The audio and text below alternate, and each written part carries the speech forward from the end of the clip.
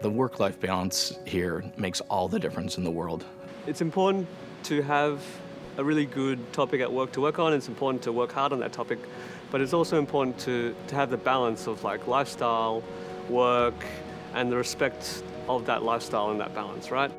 There's times where we definitely have to meet those deadlines, but we also need to recharge every once in a while.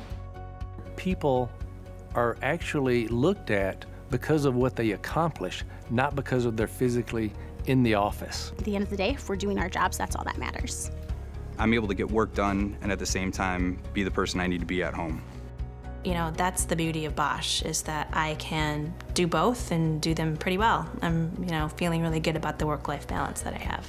Everything has to fit together, so the technology, the space, and the time, and you have to be able to combine it uh, with family, and family is something very important to us as a company. There's a common understanding and trust within my organization that I can take care of that and still take care of my job. That's what I expect now. This, this is the way a company should be. This is, this is how you should do it, taking care of the people first.